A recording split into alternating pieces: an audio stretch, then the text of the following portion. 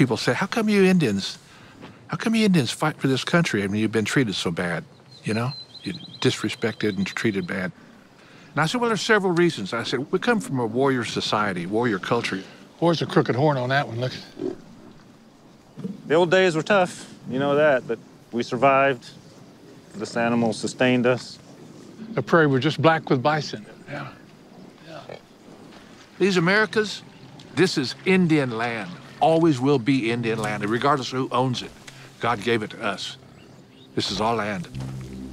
That's, that's why we fight for this, this country.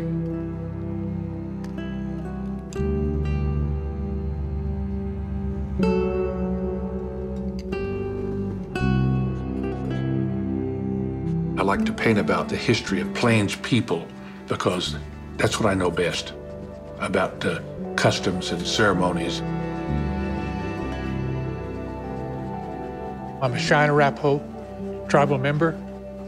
My mother was a National Indian Woman of the Year, and uh, my family was all artists. I joined the Marine Corps. I was sent to Vietnam to recover shot down pilots out of the jungle. After the Marine Corps, I became a police officer. I worked 46 years with the OSBI, Oklahoma State Bureau of Investigation. I was a forensic artist. I've probably done 5,000 witness description drawings.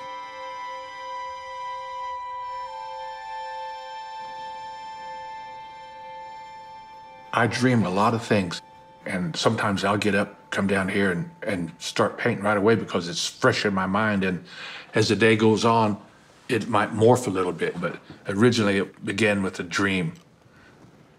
We're dreamers, you know, we're dreamers.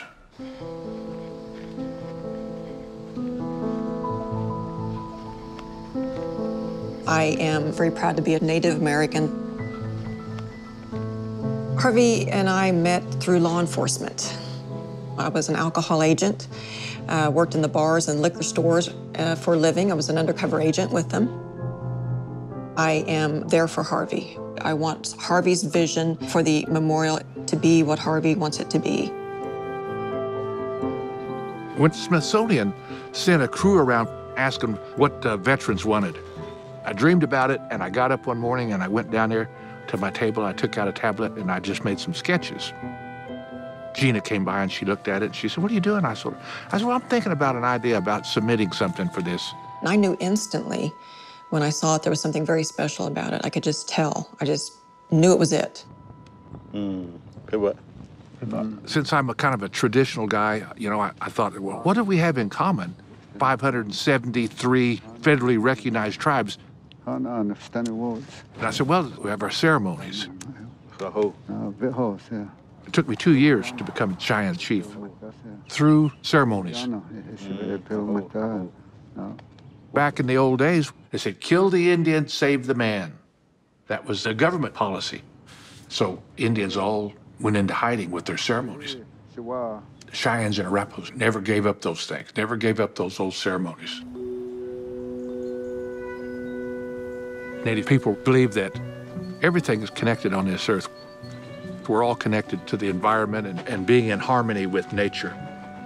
Everything involves a circle. And I said, you know, so circles are going to be important in the memorial. Nathan, I love your little bear, little guardian. My son Nathan came over one day and he's an artist, inventor. It's a reminder that uh, you taught me how to carve.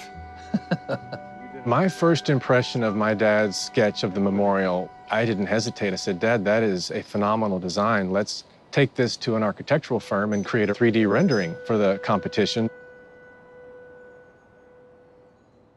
This is my design. It's based on circles.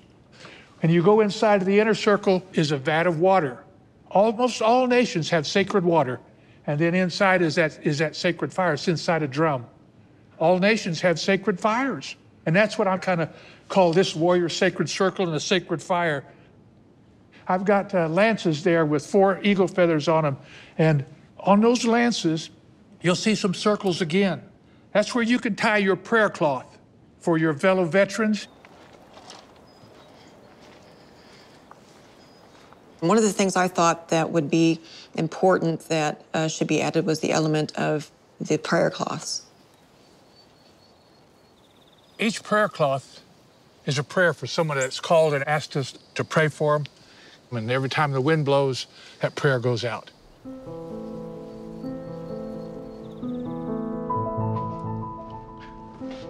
One morning, they called me up and they said, uh, Harvey, I got some good news and some bad news. He said, What do you want first? I said, Well, give me the good news. He said, The good news is, he said, you won. You're the winner. He said, We accepted your, your design. The bad news is now you got to do it. Hi, Harvey. Hi. Hi, Rebecca. How are you? How are you? Things are going well. The construction is moving along well on the site, and you know we're really excited to see the progress. Yeah, they're moving along. hmm We're doing a mock-up on the ring here in Oklahoma City and working on the molds for the battle streamers and for the feathers and for the uh, lance points. They're, they're looking really, really good. Just to watch it grow and develop is just uh, amazing. We had to oversee everything, you know. They have put us through the mill with questions and guidelines. Hey, what we're doing here today, guys, we're getting the battle ribbon for Harvey and uh, to go on the lance. And I know there's going to be a separation somewhere. We're not sure yet until we get it off in wax to make. Would it be okay if we go ahead and measure the overall length? Sure. So I think we're hovering around the 42 to 43 area. Right. And then if we Because take those an inch points off, are going to be taken down yeah, some. we're going to take about an inch off these points here. Yeah, you're at 42-ish. And it's frustrating sometimes because that's, well, right now we're, we're talking about an inch. Yeah. And this will be touching the lance somewhere. So you're looking just for a lot of attachment points. Probably one or two per feather.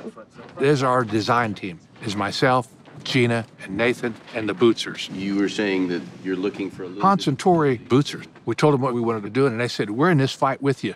Are you going to take a piece of wax to look like it's being tied on? Yes. Yes. They're really meticulous, but I'm glad they're that way. feathers that there is to build a memorial on the National Mall of Washington D.C. is a very complicated process. How do we take the idea of the drum, the water, and the warrior circle, use that to build a place that draws people in and helps them connect with this whole idea of sacrifice? A democracy to me is everyone counts. And this memorial is about that exactly. And it's about saying thank you to the Native American veterans who we've done a bad job saying thank you to before. They told me that uh, this was the last national memorial on the mall. There's no other place to put one. And we're the only ones that put a sound system in it. They thought, well, that's pretty cool. I said, well, I want you, I want you to hear them sing them war songs, sing that veteran song. You know, every tribe has their veteran song. This is a unifying memorial. That makes me proud that my dad has conceived a memorial that will galvanize our country in, in a difficult time. I look forward to the day that we can go to Washington uh, the memorial's finished and just sit back and watch the people come in. It's for healing, it's a place of peace. Every nation, 573 nations go there and they do a ceremony. That's going to become a powerful place.